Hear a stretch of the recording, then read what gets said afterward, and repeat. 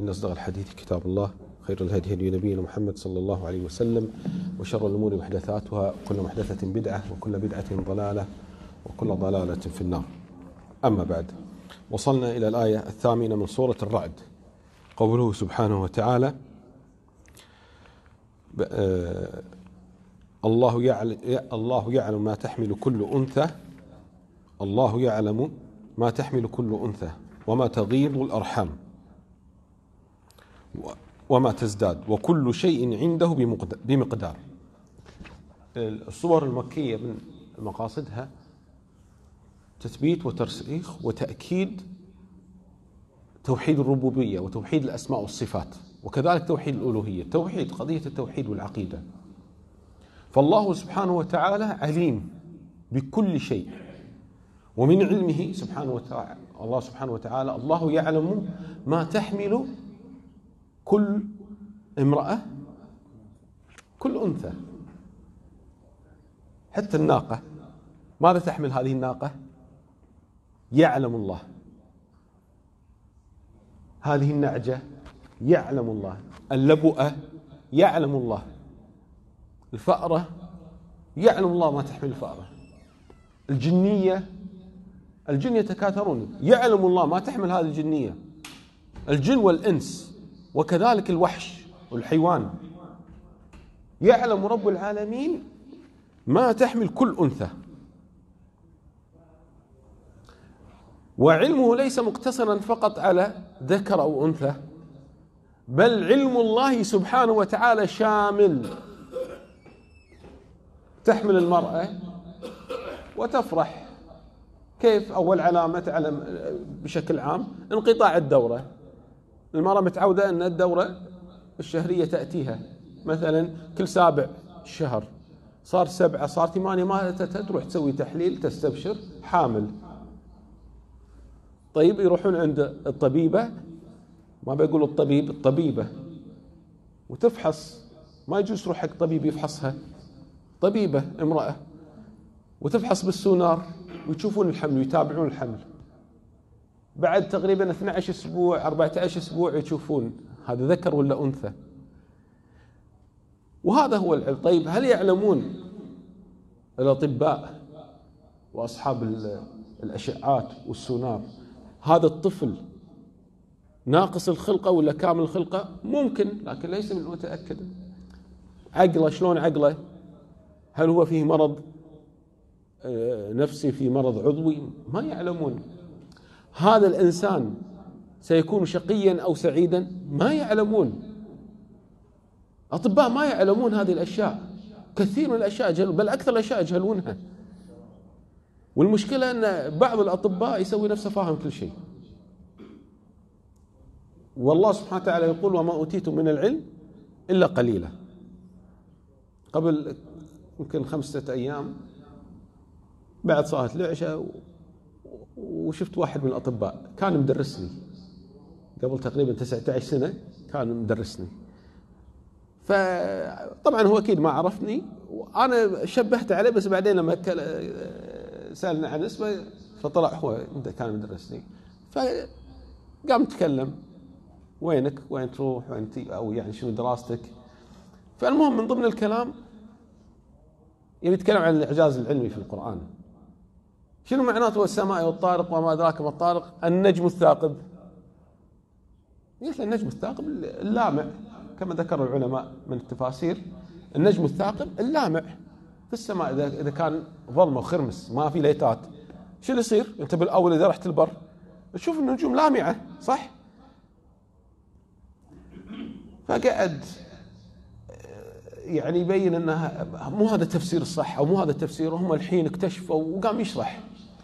فقلت له دكتور إحنا أساسا نأخذ التفسير من الصحابة رضي الله تعالى عنهم من السلف. أما التفاسير العلمية هذه نحن غير مطالبين بها.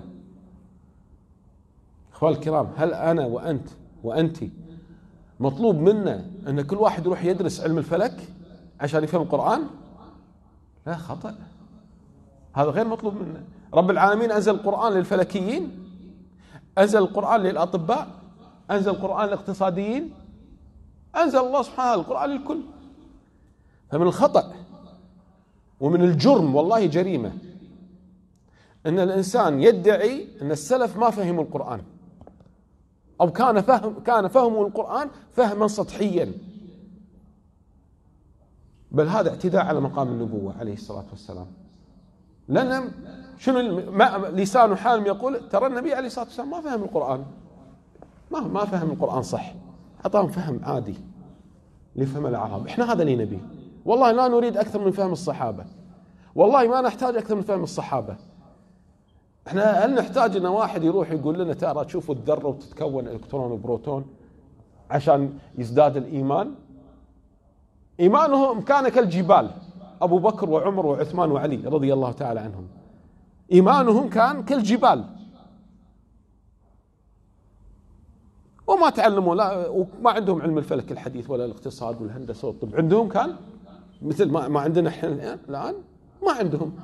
طيب هل نقول كان إيمانهم ناقص؟ وكان فهمهم للقرآن ناقص؟ هذا طعن في الصحابة. فإخوان الكرام يعني لابد أن نهتم بتفسير السلف للقرآن.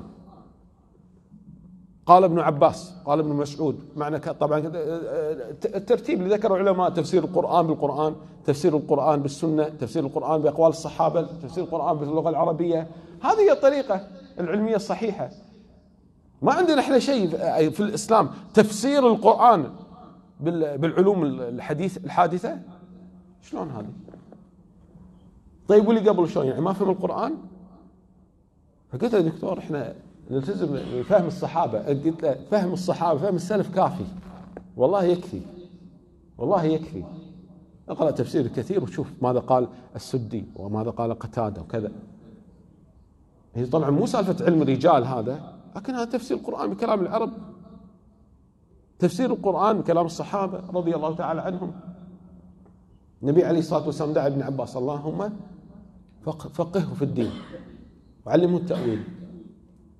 يعني التفسير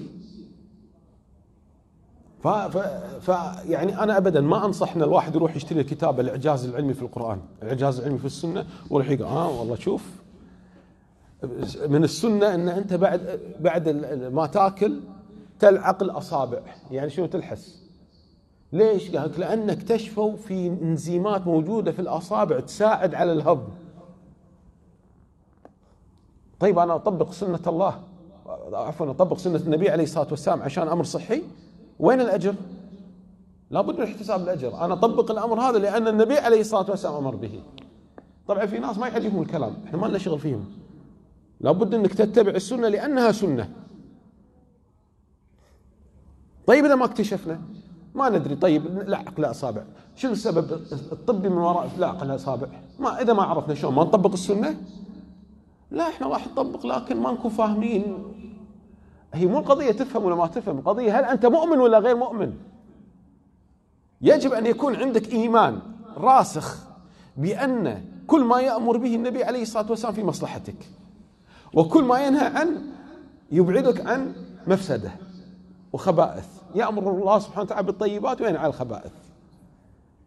فمشكلة والله بعض الأطباء يتفلسف. يعني مو معناته عفوا مو معناته أنت طبيب متخرج نسبتك مثلا فوق التسعين ودارس سبع سنين وحاطين قبل اسمك دال.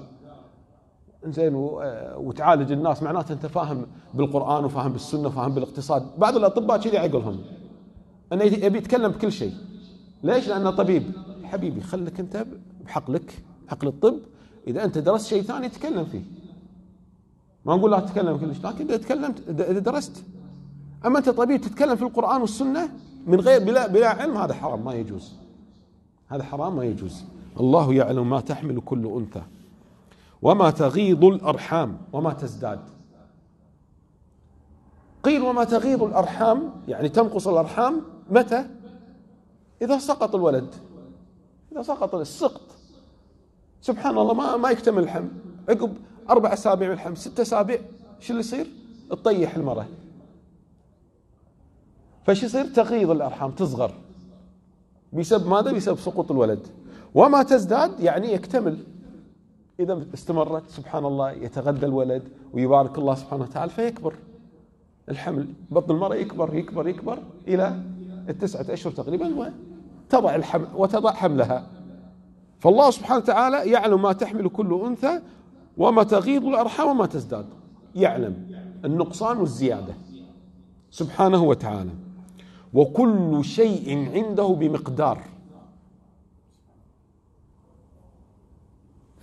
البشر سبحان الله الحمل عندهم تسعة أشهر. مثلا الفيلة عندهم الحمل يمكن 22 شهر. الحصان أو بعض الحيوانات 14 شهر. سبحان الله كل شيء عند الله بمقدار. بمقدار. تسعة أشهر. النساء تسعة أشهر عامة. يمكن يصير في حالات هذه الولادة المبكرة لكن بشكل عام تسعة أشهر. وكل شيء عنده بمقدار. ثم قال الله سبحانه وتعالى في الآية التي بعدها عالم الغيب والشهادة الكبير المتعال. سبحانه وتعالى عالم الغيب يعني ما غاب عنا والشهادة ما شهدناه. والسر عنده علانية. إحنا بالنسبة لنا لا يختلف. الشيء اللي أشهده غير الشيء اللي يغيب عني. اللي يغيب عني ما أعلمه. لكن رب العالمين ما عنده شيء اسمه غيب. إحنا يغيب عنا شيء. بل ويغيب عنا أشياء. لكن رب العالمين ما يعزب عن علمه شيء. سبحانه وتعالى. عالم الغيب والشهادة. الكبير سبحانه وتعالى. هو الكبير القوي. وإحنا في كل صلاة ماذا نقول؟ نقول الله أكبر. فلا شيء أكبر من الله. والمؤذن ينادي الله أكبر لا شيء أكبر من الله. لا دولة فلانية ولا قبيلة علانية ولا ولا قوة اقتصاد ما في. الله سبحانه وتعالى أكبر. قل أي شيء أكبر شهادة؟ قل الله سبحانه وتعالى. المتعال فوق جميع خلقه. المتعال اسم من أسماء الله. وليس من أسماء الله سبحانه وتعالى العال. البعض يخلط فيسمي العال عبد العال. العال ليس من أسماء الله. المتعال من أسماء الله. يعني إذا بتسمي عندك المتعال أو الأعلى أو العلي. عندها معاني متقاربة. عندك العلي الأعلى المتعال. لكن العال ليس من أسماء الله سبحانه وتعالى. وإحنا طبعا بالنسبة لأسماء الله لازم نحرص. ما نأتي بأي اسم إلا بدليل من القرآن أو سنة ثابتة صحيحة. سنة ثابتة صحيحة. سواء منكم من أسر القول ومن جهر به. ومن هو مستخف بالليل وسالف بالنهار. يعني رب العالمين علمه سواء. أنت تستخفي تظهر بالليل سارب ظاهر في النهار. ما ما يفرق وياه سبحانه وتعالى. سواء منكم. من أسر القول ومن جهر به. تساسر رفيجك. بل أكثر من ذلك. حتى ما تضمر في نفسك فهو يعلمه الله. أنت الحين قاعد في شيء بنفسك. والله أنا بعد صلاة العشاء بروح مكان فلاني. بسوي شيء فلاني. بنام بقعد بتزوج بشتري ببيع. ما تكلمت. ما نطقت به. لكن في نفسك يعلمه الله. يعلمه الله. بل ويظهره الله. يوم تبلى السرائر. يوم القيامة هذه السرائر تظهر. أنت إذا شيء في سرك يظهر. يوم تبلى السرائر. فيقول الله سبحانه وتعالى سواء منكم من أسر القول ومن جهر به ومن هو مستخف بالليل وسارب يعني وظاهر في النهار بالنهار. أكثر مرة نعيد الحديث الصحيح لما كان في ثلاثة نفر كبيرة بطونهم عند الكعبة لكن عقولهم صغيرة. فواحد يقول حق الثاني إيش رأيك رب العالمين يعني الله الله يسمعنا ولا لا؟ فرد عليه الثاني قال له إذا تكلمنا شوي شوي ما يسمعنا وإذا جهرنا يسمعنا. فرد عليه قال له اللي يقدر يسمعنا إذا جهرنا يقدر يسمعنا إذا أسررنا. شوف شلون سبحان الله عندهم الشك والتخبط في قضية أساسية عندنا إحنا كمسلمين إن الله يعلم كل شيء وهو بكل شيء عليم سبحانه وتعالى. فأنزل الله سبحانه وتعالى وما كنتم تستترون أن يشهد عليكم سمعكم ولا أبصاركم ولا جلودكم ولكن ظننتم أن الله لا يعلم كثيرا مما تعملون. وذلكم ظنكم الذي ظننتم بربكم أرداكم.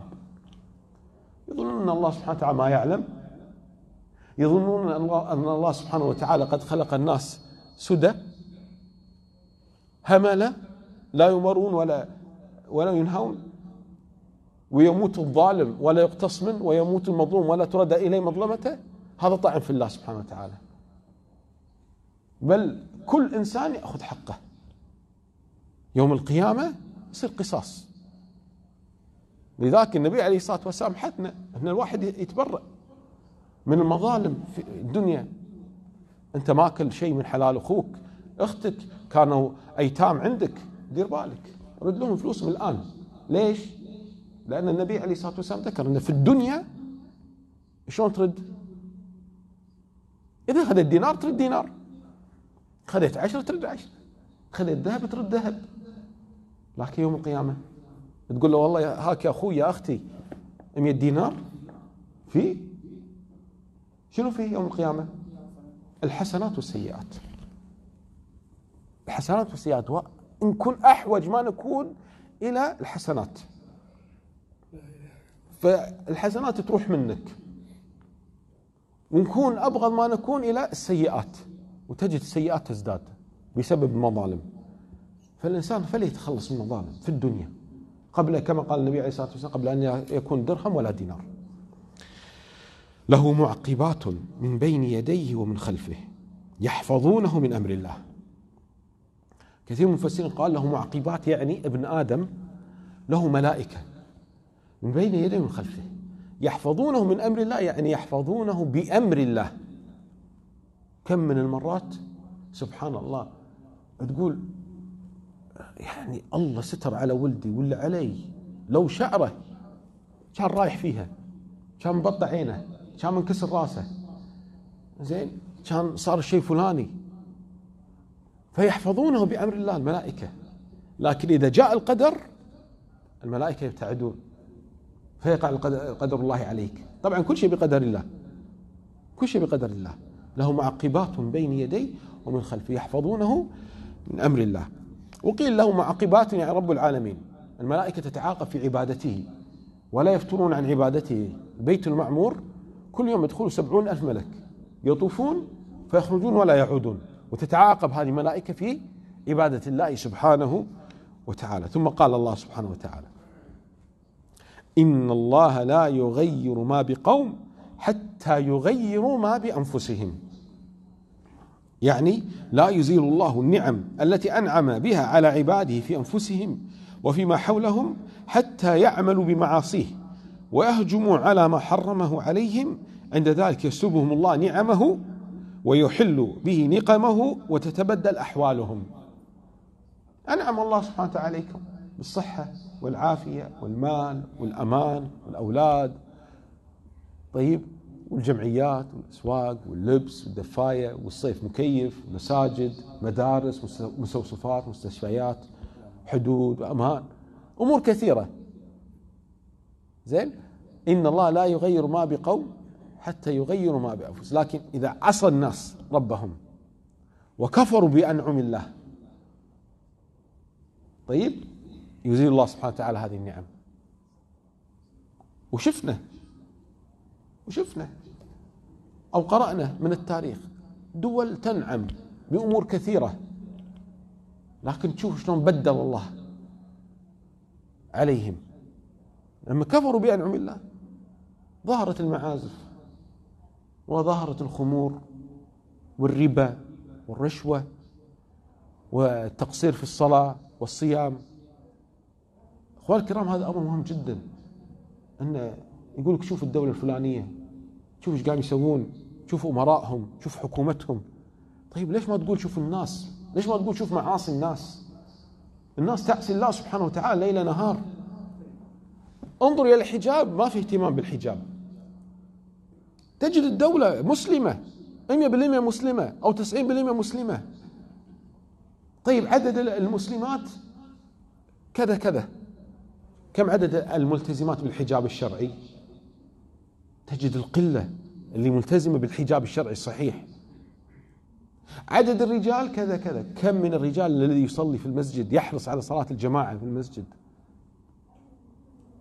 انظروا إلى الربا. كيف قد انتشر الربا؟ يذهبون ولا ما يهتم. بعض الناس والله ما يهتم. تقول ترى هذا ربا ما يجوز. يقول لك البنوك كلها مثل بعض. تناقش تقول شلون البنوك كلها؟ بنوك إسلامية وفي هيئة شرعية ومصنفة في البلد إنها بنوك إسلامية. يبقى كلهم مثل بعض. طيب أنت من وين لك الكلمة هذه؟ كلهم مثل بعض. إذا العلماء يفتونك إن هذا بنك يمشي على طريقة إسلامية شرعية. وهذا بنك طريقة تقل... يصرحون فيه يعني. ما ما يقول لك أنا إسلامي يكذب يكذب عليك. لا. بنك تقليدي يسمونه. يعني ربوي. ما يهتم. احتفالات محرمة. يحتفل. طيب موالاة للكفار. يوالي. معاداة المؤمنين. يعادي. طيب فهذه إخواني الكرام كلها معاصي. لازم ننتبه. ما نبي فقط اللوم يكون فقط على الحكومات الحكومات جاءت من أين؟ نزلت من السماء أم حفرت من الأرض؟ ظهرت من الأرض؟ الحكومات جاءت من البشر الذين يعيشون في هذه الدولة كما تعصون الناس يعصون هم يعصون وإذا كنتم طائعين هم طائعون لابد ننتبه إخوان الكرام إلى قضية المعصية إذا ظهرت المعاصي زين هذا نذير شؤم على البلاد. فلا بد أن نحارب هذه المعصية بتقوى الله سبحانه وتعالى. كما قال عليه الصلاة والسلام من رأى منكم منكرا فليغيره بيده فإن لم يستطع فبلسانه فإن لم يستطع فبقلبه وذلك أضعف الإيمان. وتكون بالحكمة. ادعو إلى سبيل ربك بالحكمة والموعظة الحسنة. لا بد أن نتهم أنفسنا بالتقصير. لما امرأة قالت هنيئا لعثمان مضعون رضي الله تعالى عنه بعد أن مات.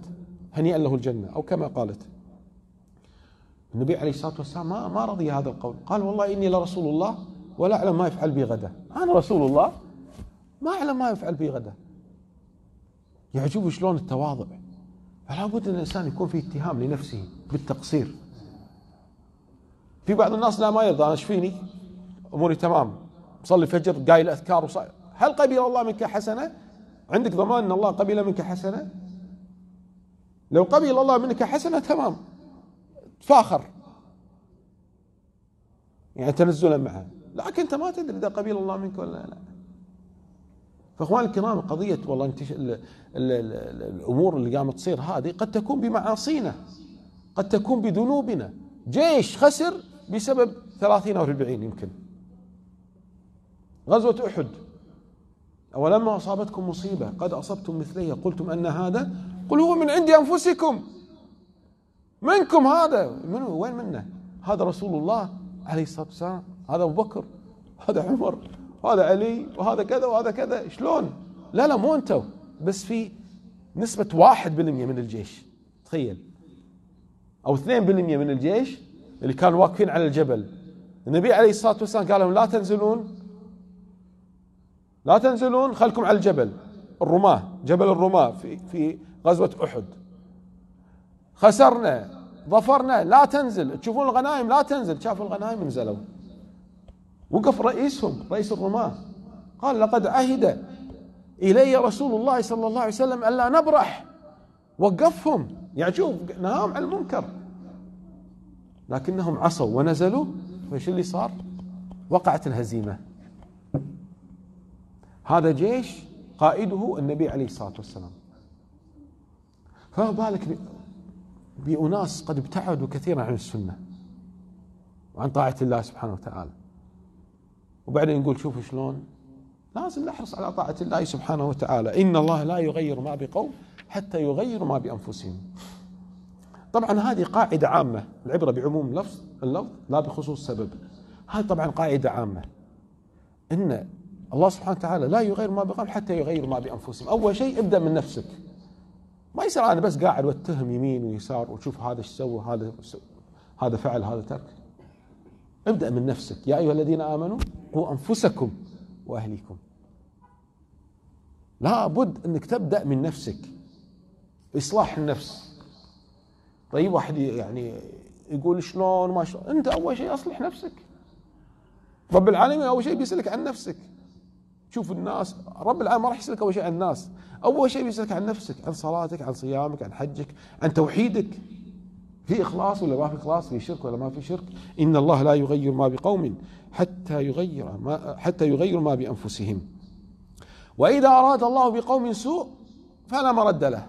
أراد الله أن يحل عليهم المطر الشديد أو بركان أو زلزال. هل في أحد يرد قضاء الله؟ لا أحد يرد قضاء الله. وإذا أراد الله بقوم سوءا فلا مرد له وما لهم من دونه من وال. هل في واحد من أوليائهم يقدر يرد- عذاب الله وأمر الله؟ مستحيل. والله مستحيل. مهما كان من تحريص أو حرص من إجراءات طبية وتطعيمات لكن إذا أراد الله أن ينزل وباء في هذا البلد والله سينزل. إذا أراد الله تدميرهم بوباء بفيروس ببكتيريا بجرثومة بحيوان بجراد سيحصل هذا الأمر. مثل ما حدث في قوم موسى عليه الصلاة والسلام. فأرسلنا عليهم الطوفان والجراد والقمل والضفادع والدم. هذه آيات عظيمة اللي قام يستقوون على على بني إسرائيل. زين شوف شلون إيش سوى فيها رب العالمين؟ إيش معناته؟ لا غالب إلا الله. طيب ومهما بلغت قوة الإنسان فمرد إلى وين؟ إلى الأرض. الموت. وضعيف هذا الإنسان. أسأل الله سبحانه وتعالى يصلح أحوالنا وينجينا من عذاب الدنيا وعذاب الآخرة. جزاكم الله خيرا وصلى الله وسلم على محمد. آمين.